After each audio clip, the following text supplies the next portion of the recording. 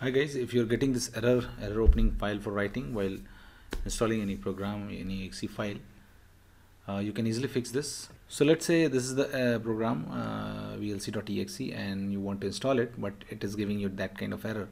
So what you should do is to just right click on that exe file which you want to install and click on run as administrator okay and now try it and most probably this error will not appear again now even if in this case if this appears what you should do just right click on that exe file click on properties click on compatibility and click on run compatibility troubleshooter.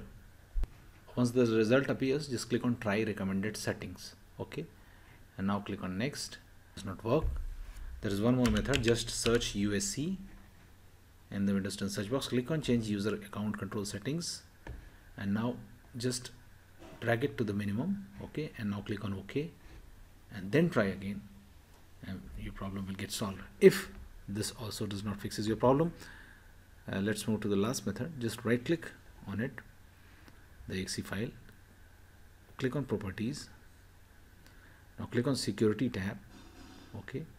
You have to do just click on edit click on add now click on advanced now click on find now. Now click on just uh, search everyone. Okay.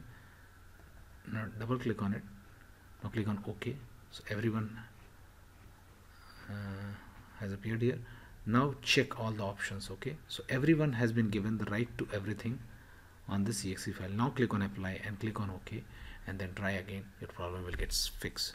That's it guys. Please do like the video to support us and thanks for watching. The